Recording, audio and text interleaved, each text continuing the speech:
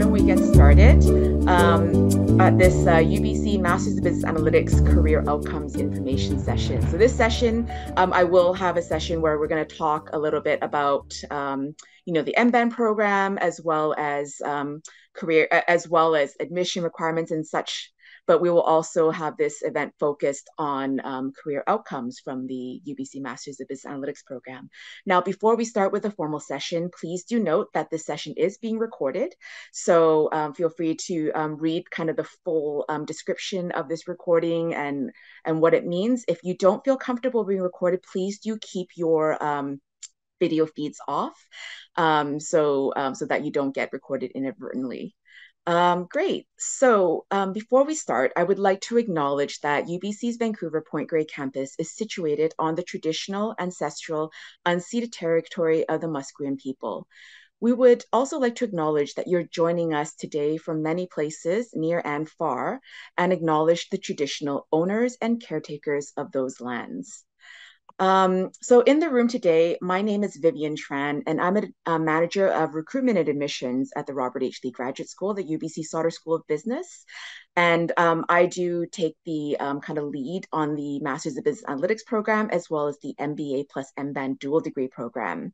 Now with me, I have our special guest, um, Joyce Wong, who is a career strategist uh, with the Hari B. Varshney Business Career Center at UBC Sauder. Um, maybe Joyce, you can give a wave.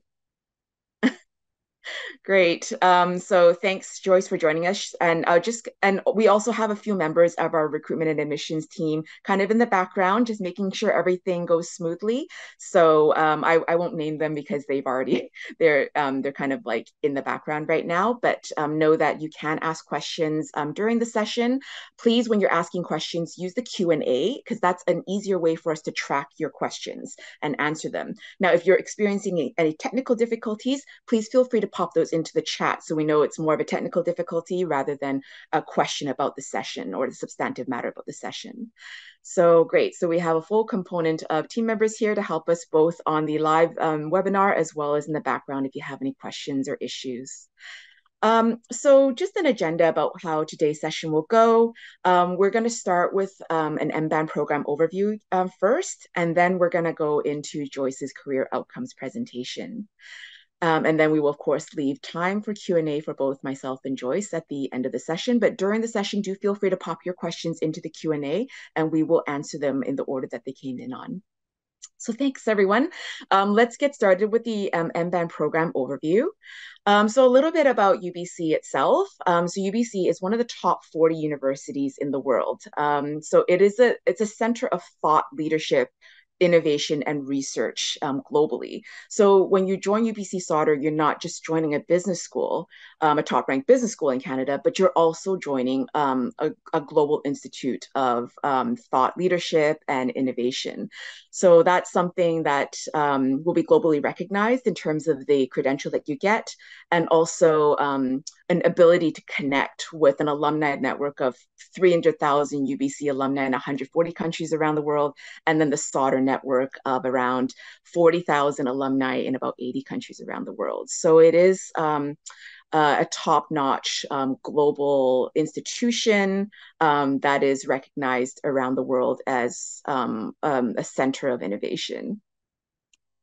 So a little bit about Vancouver. So for those of you joining us from all over the world, it, it stands, I, I feel like it's worth um, kind of indicating that Vancouver is actually the warmest place in Canada. So sometimes when I say I'm from Canada, you just imagine that I'm in a snowsuit every day and it's covered in snow. In fact, it very much looks a lot like this photo that you see here. And, and this photo behind me is one of my favorite images of the campus itself. Um, you know, on a sunny day, it is uh, it's it's beauty that's otherworldly in my opinion. It is just a beautiful place to be and it is one of the most livable cities in North America um, by various rankings, and Canada's fastest growing metropolitan um, economy. That's home to a number of different um, enterprises, both large and small. You know, we've got large tech firms like Microsoft here, as well as um, McKinsey. Um, we also have born in Vancouver um, companies like Lululemon, and of course, like different types of governmental organizations like the City of Vancouver as well. So, a range of different industries that you can tap into when you're part of the Vancouver economy and part of the Vancouver business ecosystem. Um, a little bit about the MBAN program journey now. So it, the MBAN program starts in August of every year with a cohort of about 100 students, and they're always divided into about two classrooms. So you always have a good um, kind of small size um, teacher to student ratio, about no more than 50 students to a professor. Um, so you get that good interaction with your peers as well as your professors. Now, the program is 12 months long, and it, you can see it's quite an intensive training program in business analytics. So you can see the courses that you're going to be doing kind of listed here. So every five weeks or so, you're going to be shuffling into like four different types of business analytics courses. Um, and in between these um, kind of five week cycles, you're going to be doing thematic courses on things like data visualization, business immersion, data driven marketing. And then these green elements here, those are kind of the career components. So, one of the most important things that we want, obviously, that you are joining us for um, or interested for in doing the MBAN program are the career outcomes. So, this is why we have a session like today. And, and Joyce is going to be the expert that's going to answer a lot more of these questions. But you can see that it like the career development programming, it runs throughout the length of the program. And there's also elements of it that happen during the program, like the hackathon, where you actually do like a project for like, you know, a, a business analytics based project for, you know, one of our um, company uh, partners. Like I think this year it was Google Cloud, which was very exciting. So it's a great way for you to work on, you know, real life business problems and showcase your work to some of our industry partners. Now, a big highlight of our, our program is this four month paid internship. So now there is an opportunity to also do um, like a personal research project, which Joyce is going to talk about in um, in more detail during her presentation. But this is also a big highlight about the experiential learning component of the MBAN program. Is this um, four month um, analytics consulting internship where um, you can work with a real company and um, really explore and maybe a new company, new industry, and apply those um, skills that you've been learning um, for the eight months prior in the MBAN program to an actual job setting. So I'll leave that um, to Joyce to explain in more detail um, during her presentation, but that is essentially the program journey. So 12 months, very um, intense um, and um, with a lot of experiential components um, built into the, the hard learning that you're going to be doing in business analytics. Now, some of you might be interested in the MBA plus MBAN dual degree. So essentially, this program um, combines our MBA program with our, our MBAN um, program. So um, basically, how it will work is the first 12 months of the dual degree program will be the MBA curriculum. Um, so 12 months from August to August um, will be MBA, um, including the MBA internship, the four month MBA internship. And then the next 12 months will be the MBAN component. So the 12 months that I just reviewed with you will happen in the next next year of the program. So it's a two year dual degree program, MBA first and the MBAN next with two um, four month uh, internships involved. So um, for those of you that are interested, feel free to pop questions in the Q&A. I'd be more than happy to answer those questions, but I just wanted to go briefly there about the um, dual degree program as well admission requirements. Um, so I won't talk too deeply about this um, because all the information is here as well as on our website, but essentially a B plus average. And I'm going to show you a slide where you can see how you can translate that from your home degrees. Um, and then uh, standardized tests, um, unless you qualify for a waiver. And I will talk about the waiver in just a second. But essentially, for a competitive, um, you know, uh, requirement, we're going to be looking for a GMAT in the competitive range of 650 or higher, or 605 plus for the new GMAT focus exam, um, or a GRE. A competitive standard will be um, three third, uh, 330. Now we also have minimum requirements. So like minimum to be considered you know, a valid application, you would need a 550 on the GMAT or a 310 or higher higher on the GRE as minimum requirements. There's no professional, uh, no minimum professional experience required. So you can come to us with, you know, directly from an undergraduate degree, or you can come with 15, 20 years of work experience. Um, it's really like a training program that is suitable for people that are ready for this injection of knowledge, right?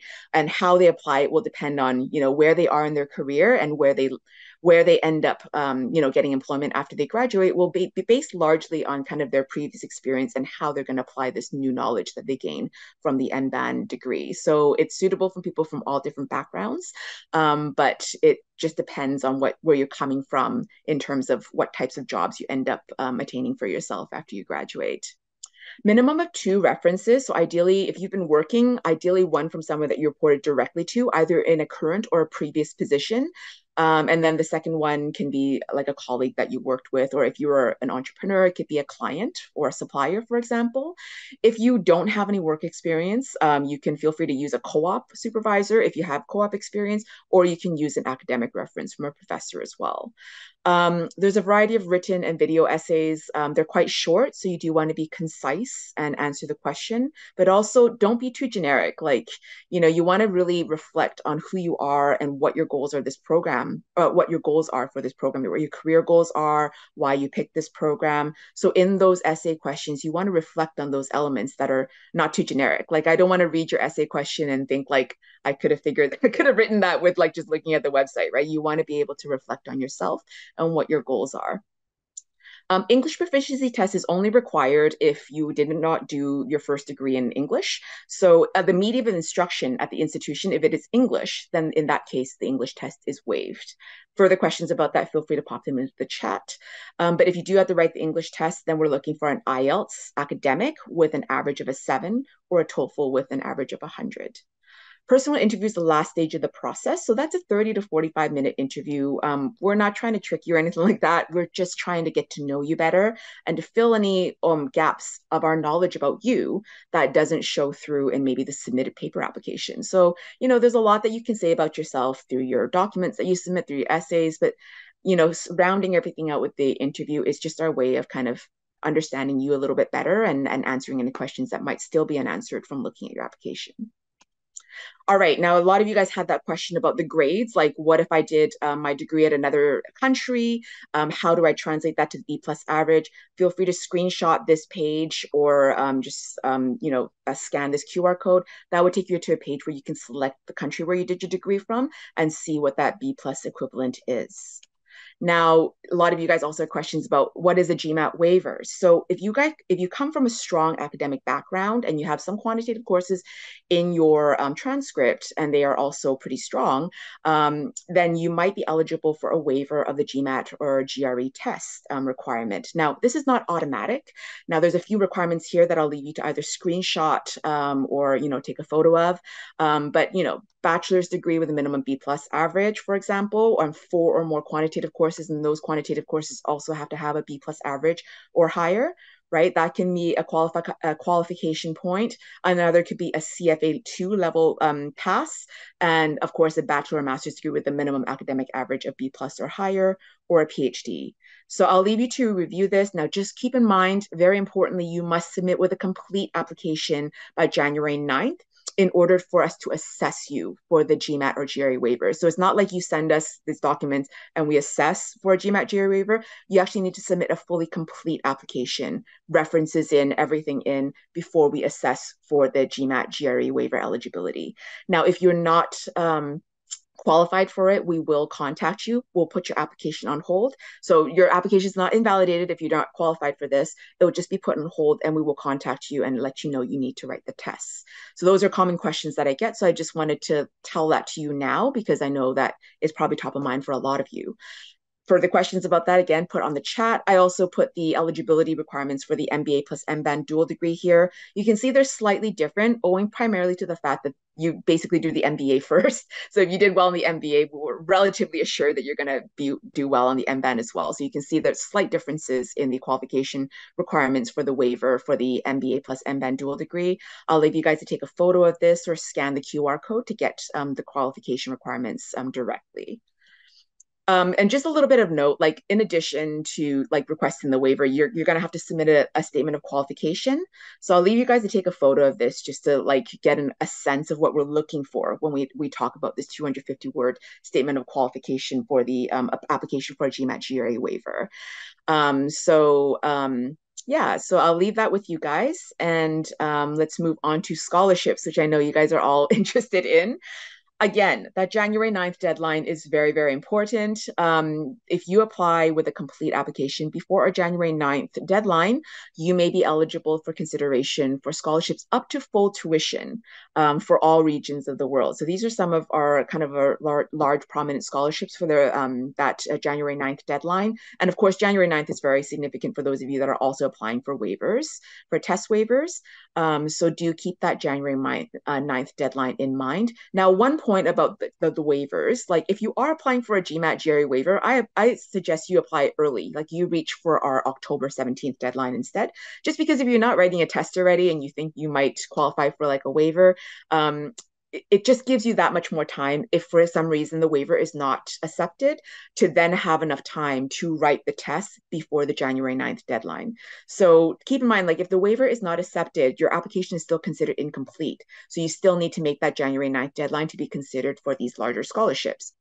So that's why I would say if you are applying for a standardized test waiver, apply early, apply in our October deadline so that there's just that much more time. If we do tell you that you don't meet the waiver requirements, that you have that much more time to write the test.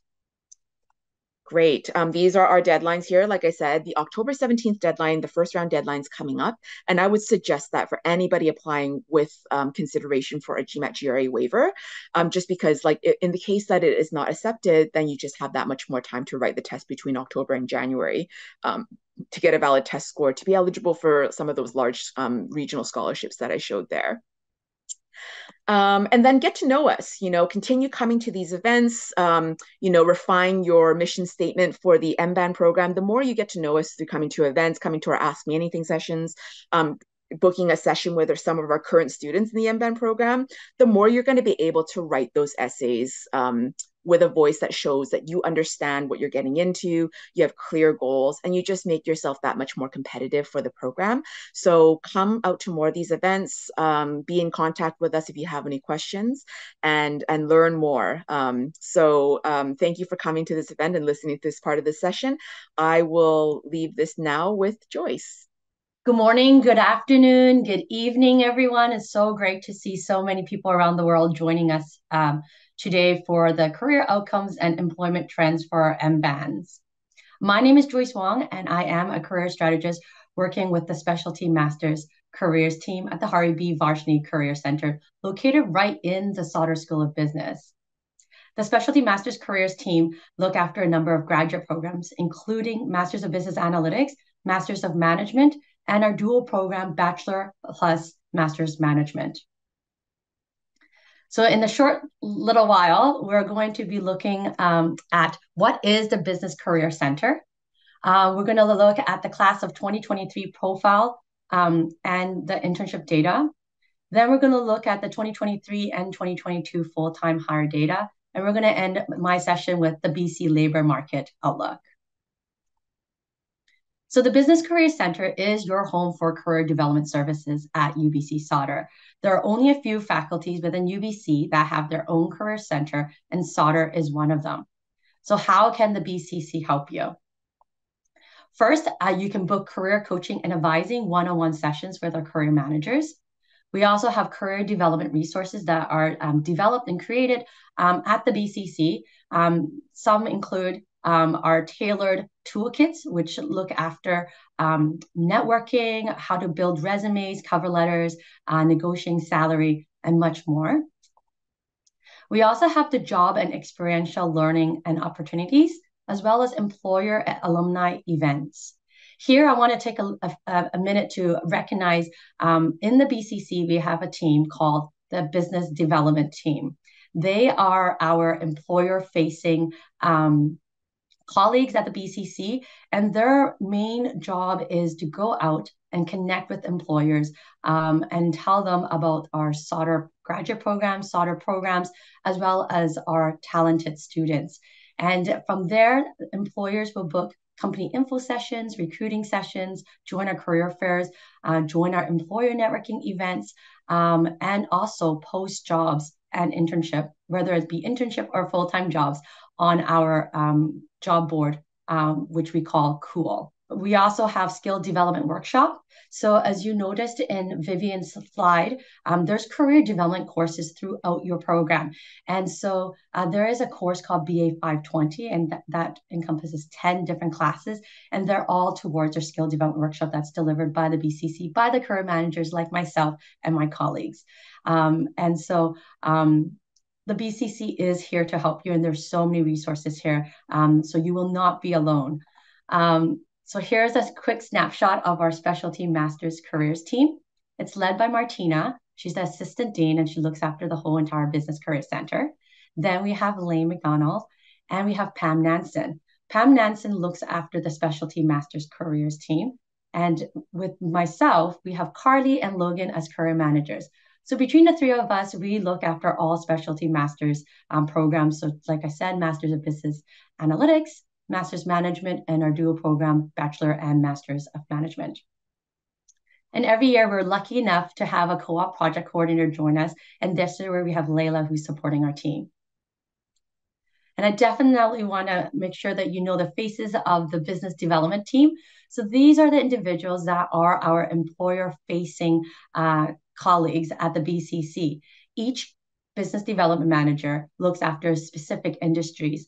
Um, and so their main role again is to go out and connect with many different organizations within the industries that they're looking after to ensure they know about our Sauder programs and the talents that uh, comes out from our Sauder programs, like yourself. So at the BCC, we follow this career development model known as My Unique Career Journey. No matter where you are in your unique career journey, you can use this model to help navigate your personal and professional goals at UBC Sauder and beyond.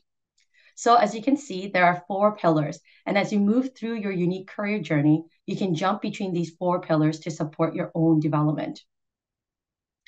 When you join the MBAN program, we do ask that you are committed, you are proactive, and that you are resilient. And what that means is when you're being committed, your career is your journey. The BCC is here to help, but the drive and effort comes from you. When we say be proactive, UBC Sauder and the Business Career Center will provide opportunities for you to learn, grow, and connect with career enhancing experiences. It's up to you, though, to engage and capitalize on them. And finally, being resilient. Um, for many of you, you'll be moving from your country to a new place.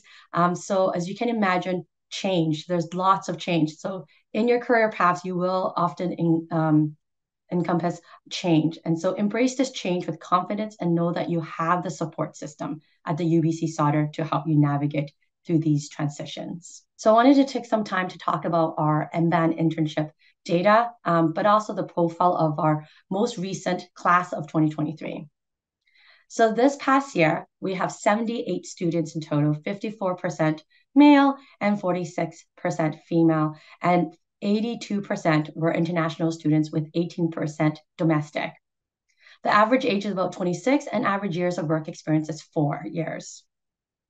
On the bottom, you can see that uh, uh the undergraduate studies that uh, these students, the 78 students were in prior to joining the program, the MBAN program, and for those who have work experience, these are some of the industries uh, they that they worked in prior to joining the MBAN program. Vivian earlier mentioned also um, about the internship, the four months between May and August, um, that you get to participate in an experiential learning portion of the program. So there is two routes. You can go through the personal research project, or you can go through the traditional internship. For the personal research project, it is an independent analytics project that you create and propose. So students will come up with a problem or a question, and they will lead um, how they will find the solution to that problem or that question. For the traditional internship, this is where students work with a company in an analytics focused position. So, regardless of whether or not you do a personal research project or the traditional internship, it does need to touch upon at least one of the areas in the green boxes that you see there. Reason being is these are the, the um, analytics focused um, topics that you'll be learning throughout your MBAN program in the eight months prior.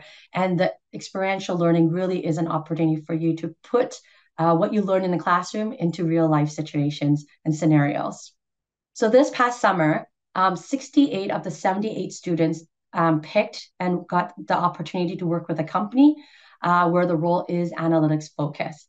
We had about 10 students. Well, we did have 10 students who decided to do the personal research project, which is the independent analytics project that they created and proposed.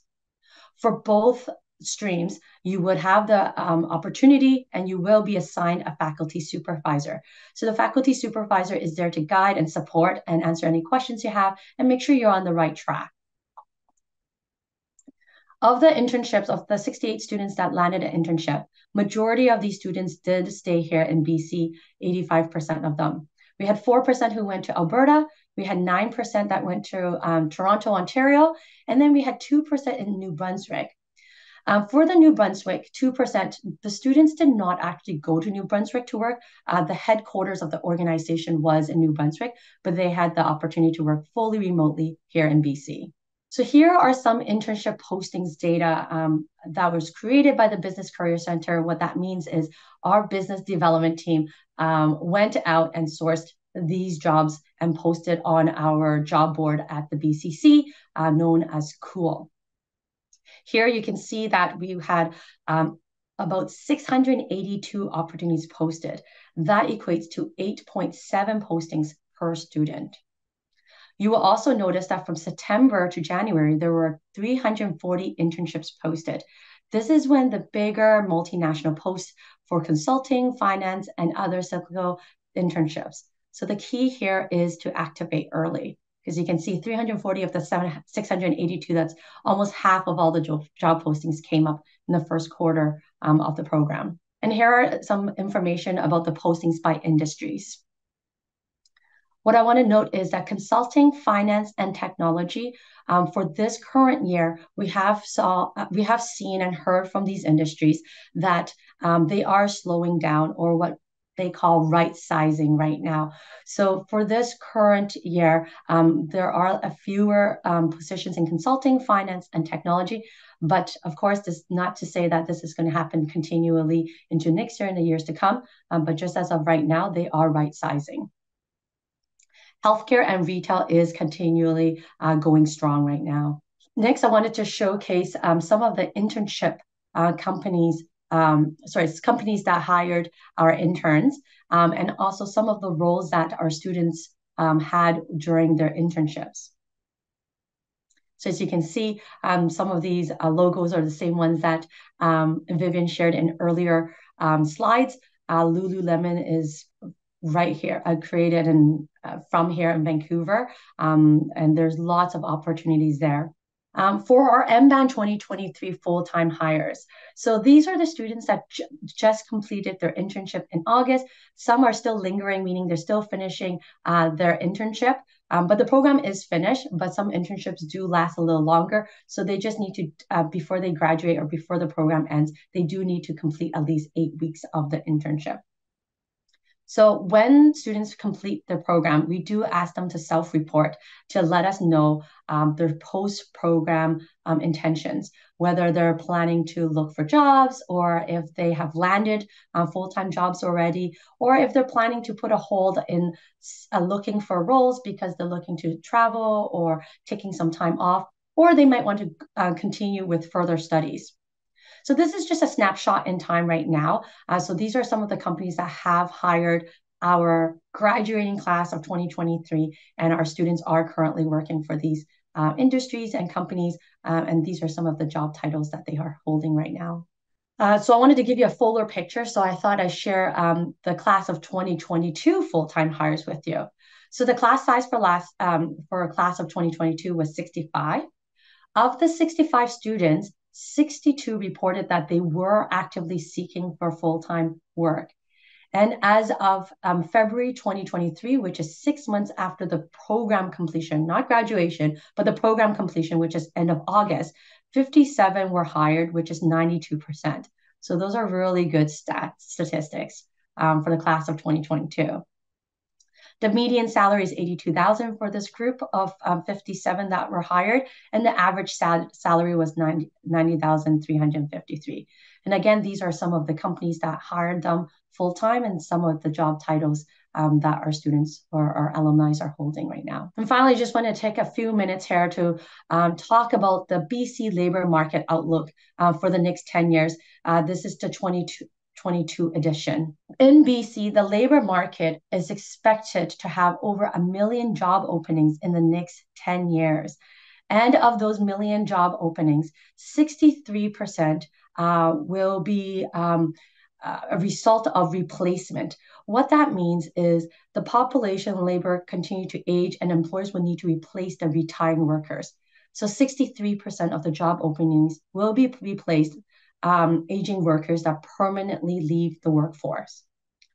37 expansion our 37% of job openings will be from newly created jobs through economic growth and to a lesser extent through the recovery from COVID-19 um, pandemic. So how is BC going to fill these jobs?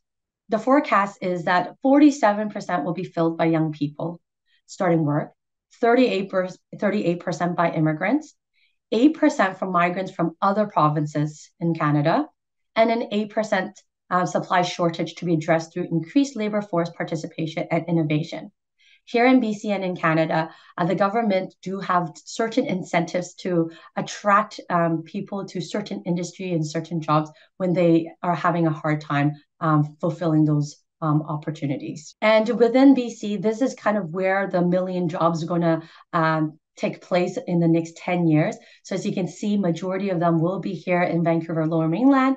Uh, the runner up is on the island, which is absolutely beautiful. And then our interior in Okanagan.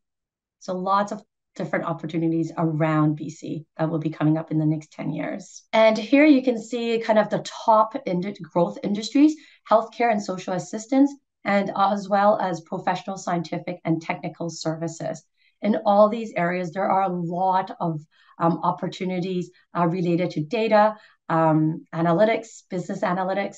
Uh, so there's a this is really a great time um, if you're thinking of joining um, you know, coming back to school or changing, pivoting careers, um, and coming for the Masters of Business Analytics, um, because there is no shortage in jobs for this this field and this um, just technical skills. Thanks so much, Joyce, for that wonderful presentation. So um, we're going to ask now, like, just open everything up to questions. So if you ever had questions about career outcomes or um, the internship, this is a golden opportunity to ask um, Joyce in the Business Career Center. I see we already have some questions in the Q&A, so I'd ask you to continue to put your questions in the Q&A. That allows us to track these questions better and answer in the order that they were received. So um, I going to start asking you some of the questions I see. Okay, so uh, Joyce, there's a question for you. As the program starts in um, basically fall of 2024, when is the best time to apply for internships? Fantastic question. So, based on the slides I showed where the job postings, majority of the job postings came up for class of 2023, which was from September to um, January, I would say start right away. Of course, if you're, you know, getting used to coming back to school and getting used to the environment here in Vancouver and uh, the program, I would say continue to think about the internship, but I wouldn't want to add the extra stress because, as you can see in that slide, um, there are jobs throughout. Uh, the coming months from September all the way to uh, when the internship starts. We just ask that you activate early. Um, and as mentioned earlier, um, in the beginning, um, September to January, majority of the jobs are consulting finance and so and new grad programs. So if those are areas that you really want uh, when you graduate, then you definitely want to pay attention to that. We do have a lot of local companies that start hiring just in time. Um, what that means is when they see a need, they want to hire and then they'll post jobs with us. And those usually come out um, in the new year, so January onwards. Hey, awesome. Thanks so much, Joyce. Um, going on, I do see another question that's career related. So this participant asks, I have a clear objective of joining the course um, to become a business analyst in consulting firms like the MBB or Big Four. So does this course help for that? Since I don't see any outcomes shown in the presentation, which I think I actually did see some um, internships at Deloitte, but I'll allow you to answer that question, Joyce. Yeah, absolutely. So, no, we do have uh, a number of students that go into uh, consulting, whether that be for internship or full time jobs. So, we do in class of 2022, we do have uh, students that went to BCG as well as McKinsey. Uh, this current year, I know that we had a lot of students that went to EY, Deloitte, um, even Deloitte Omnia AI, um, KPMG. Um, let me see which other one. MPW, um, actually not PwC, but no, we, we do have a lot of um, MBAN alumni um, and MBAN students that go into the internships in consulting. So uh, definitely it will help. If consulting is something of interest, um, you do want to start um, networking and um, practicing those case interviews um, because those interviews are earlier on in the program. Mm-hmm. That's great. And um, just so we basically have examples from MBB and from Big Four, so that's excellent. And just a question for you, Joyce, like with the ones that went to the MBBs, did they have involvement with the SCMP program at um, UBC, or did they just land by themselves with the MBBs? Yeah, absolutely. I believe one of them did do the SCMP, um, mm-hmm. and the other one, I'm not really sure. Um, but yes, yes. And. I have students from this year that did join, and they said they highly recommend both the SCMP MP as well as SCI. Okay, awesome. So I'll just put some resources here in the chat in case people would like to know about this SCMP program, and I can pull the uh, resource for SCI like just in a second. But basically, SCMP, maybe Joyce, you can explain it a, a little bit better than me. Like it's like a four weekend boot camp, um, basically focused on like the case interview, if if I'm not mistaken. Yeah, I believe that. I believe so. Um, I should have more information, but I don't. But yes, I believe that is the case. But we can definitely mm-hmm. put more information so that the students can start looking into it. Um, the SCI usually um, the recruiting period is now for this current year. So for next year program for class of 2025, uh, you'll be able to apply into the SCI in the beginning mm-hmm. of um, September. Um, and for the SCI, um, it just provides you a lot of opportunity. I'm thinking it's the same as the SCMP. Um, mm-hmm. Lots of opportunities for networking and connecting with people in the industry, and obviously to brush up on the, all the different skills that you might need for the interview and for the job itself. Yeah, so these are like extracurricular um, aspects that you can join when you're a part of the program. And so maybe you can speak a little bit about that, Joyce. Like this program is highly um, academic, and so you know it's it's pretty intensive. But maybe you can speak to the importance of getting yourself out there and joining some of these extracurricular activities that the BCC's done such a great job of of hosting and providing opportunities for for students to engage in. Yeah, absolutely. So um, I would highly recommend um, the fall is the busiest time for our company info sessions and recruiting sessions.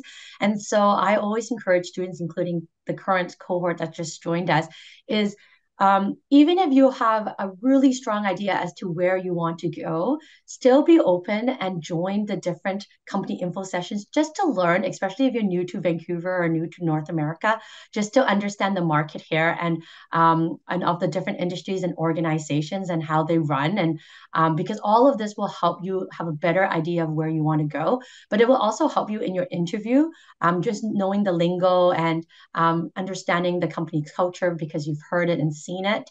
Um, so definitely, these are all um, areas that the BCC support. Uh, so I highly recommend that, as well as career center that is put on by UBC. Um, that's actually happening today and yesterday, and so there's lots going on on campus that um, is here to support you, especially if you're new to Vancouver, and just introducing you to um, all the different uh, um, business leaders and um, business community.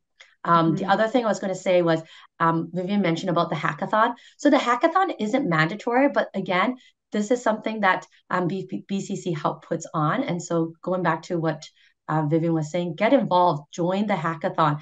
It's an opportunity for you to work really closely with a specific uh, organization um, and really put your um, skill set uh, to work. And it, it could be something that you can add to your portfolio so that you can uh, showcase when you're going for interviews, showcasing what you were able to do um, in the hackathon. Um, there's also lots of case competitions that happen, whether that is put on by the BCC or just um, that that is put on by different organizations. Um, so just being open and um, embracing all the opportunities are are basically at your fingertip. Okay, thanks so much for that, Joyce. I'm going to give you a tiny bit of a break because I see some questions on admissions coming in. So um, let's let's just get through some of these before we throw it back to Joyce. And again, please keep those uh, career outcome questions coming in the um, Q and A because we're going to circle back to Joyce in just a, a moment. Um, so I have one question here. If my references are not submitted within the round one deadline, will my application be moved to the next round? So that's a good question. So the round one deadline is October 17th. So like when we say completed application, it means everything needs to be in, including the references. This is why I always recommend that if you're reaching for one of these deadlines, um, please like do, don't do it right at the deadline. Do like go two weeks ahead, one week ahead. That way, if something is missing, like you know, you'll be aware of it and be able to remedy in time before the deadline comes right? So if you don't make that deadline, it will be considered like let's say a reference is missing, you're technically considered for the next round deadline. All right. So um, not as big of a deal with like October 17th. We don't have a lot of major scholarships associated with the first round, but especially with that January 9th deadline, that is our deadline for um, GMAT GRE waivers as well as for the, some of those large regional scholarships. So that's something you really want to be aware of. Okay, so um, someone has a question about the recommendation letter, specifically academic references. Are there particular subject and or areas of studies that would be most relevant or beneficial for the MBAN program? So in the case that maybe you're a new grad and you don't really have a lot of work experience references, you can use a um, academic reference. In that case, ideally, it's like a professor that knows you well. And ideally, it's a professor more from a quantitative discipline. But like if, let's say you're in a class of like a thousand, like 700 people and that prof doesn't really know you very well, then you can use a different prof. You know, it doesn't have to be a certain subject matter. The more important thing is that they can actually speak to your potential academically and what they foresee for you in the future as well and your work ethic. So, like, if ideally it's a quantitative subject matter, but again, if it's one of those classes where like they don't know you well, then feel free to use like a different prof. Um, if the GMAT waiver is not considered for in case GMAT waiver is not considered, will we have ample time to prepare and give the exam? How early can the confirmation on the waiver if we apply in October um, 2023?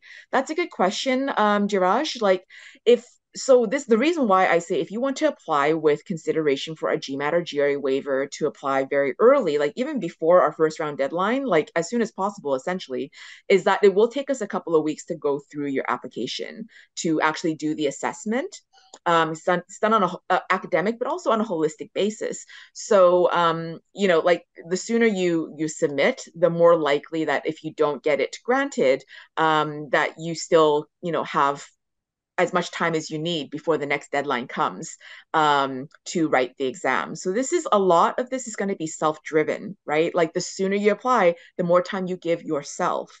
Um, not so much um, on our end, but we usually try to tr- like inform candidates within a few weeks. Um, you know, in the case that like we did the GPA calculation and we did an assessment and it's it's not eligible for the waiver, that you will you will know um, you know soon at, from the time that you submitted your application not so much that we're giving you more time before the deadline because that's more self-driven on your part to apply early Hope that answers your question. So the earlier you apply, if you want to apply for a GMAT GRE waiver, the more advantageous for yourself. And then regarding professional references, are there specific areas or competencies that you recommend the professional referee comment or align better with the program requirements?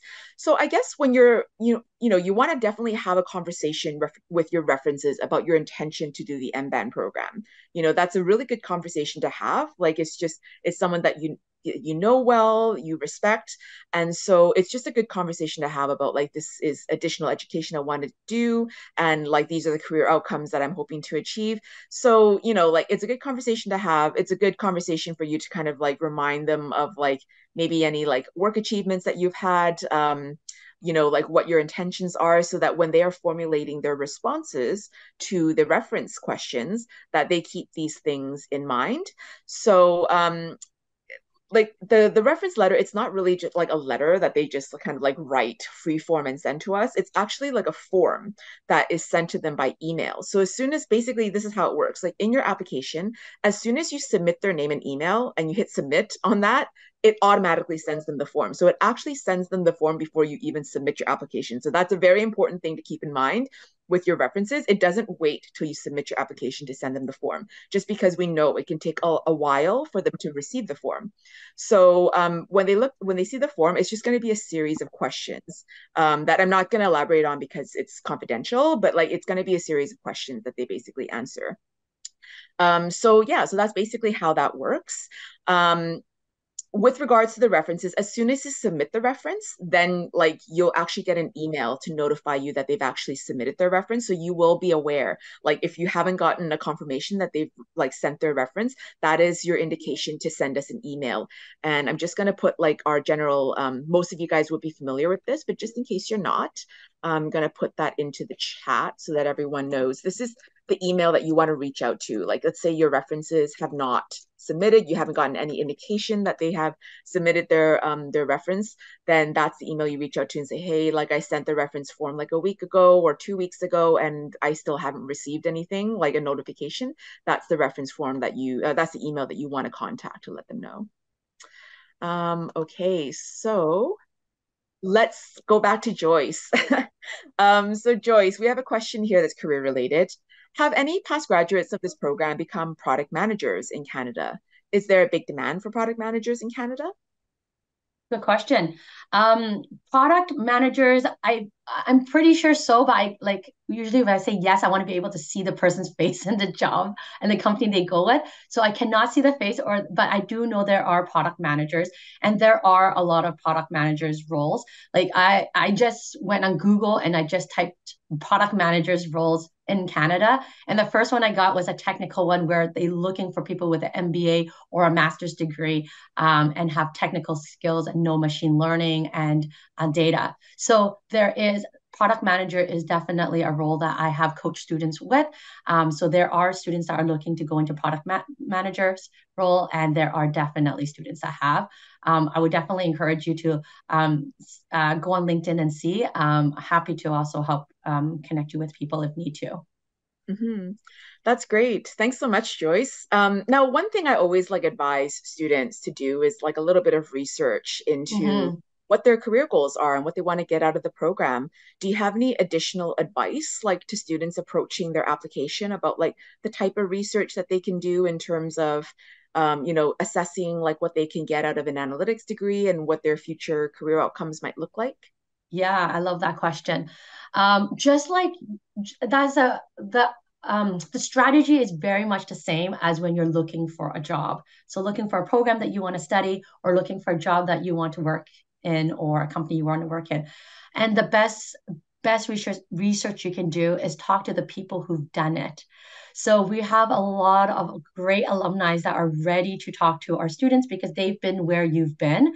And so if if for all the people who are our audience today, if you have not talked to an MBAN alumni, I encourage you to reach out to two or three and um, set up a virtual coffee chat, 15 minutes, just to um, ask them questions. And you can find them on LinkedIn and see their um, their work experience. And I see a lot of people asking about like, what if you don't have any work experience?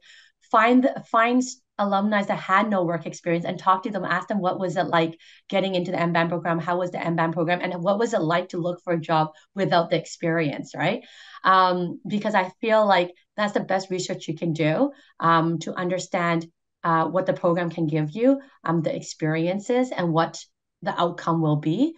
Um, so do a little bit of research to find out. And if there is an area that you are really interested, for example, um, for the person who is interested in product manager, manage, yeah, manager role, um, be sure to find um, someone in product manager, whether it be an alumni or not an alumni, and ask them what is the role like and what are some of the skill sets that the company is looking for or the industry is looking for in this in this type of role and see, okay, this is what they need. And you know what the MBAN program, the courses that you'll be learning, um, Vivian showed the kind of the schedule and the types of courses and the course titles. You'll have an idea, okay, am I going to get this from this MBAN program? And if you're like, hey, this is, I want to talk to someone to find out, again, talk to alumni and just say, tell me about this Python class. Tell me about this data visualization. What do you actually learn? And are you actually using these skill sets in the current job that you're working in? So that would be my advice. Yeah. So I guess a little bit on some of these programming languages is a question like what specific software tools or programming languages does the program emphasize and how do these choices align with current industry demands? Um, beyond technical skills, how does the program foster soft skills? Um, and how's the alumni network? That's a, a, a multi-layer question from Stila in the chat. so I kind of know if you wanted me to repeat any of that. Okay, I'll try and go through, and then if I miss anything, you can let me know. So sure. for the alumni network, I just mentioned it. The alumni are really eager and excited to help anyone that have questions. Um, the graduating class have already come to me like many times on different occasions and saying, "Hey, do you guys need guest speakers? Do you guys need alumni? Um, I would love to share my experiences. So reach out to um, our alumni on LinkedIn, and I guarantee you they will reply to you and they will connect with you. If you don't hear back from them right away, it's just because they might be very busy with whatever they're working on, um, but not because they don't want to help you, because I know for a fact they do. Um, so I would say the alumni network is perfect. It's, it's great. It's great. Um, and then you had another question about um, like the, the software skill like the kind of i guess the programming skills like programming languages like i talk about this as well like ideally getting to like intermediate level on python and r um, which whether like through your university coursework or if you don't have that you can do it through things like coursera and datacamp like that's acceptable too um, mm-hmm. but like any anything else you would mention on like the programming um, languages that the the program like yeah. emphasizes so um that's probably more an RHL question than my question. But what I can say and what how I coach my, the students is that there's so many languages and there's so many platforms and softwares. Um, there's no way that MBAN program is going to teach you all everything and anything you ever need to get into that area.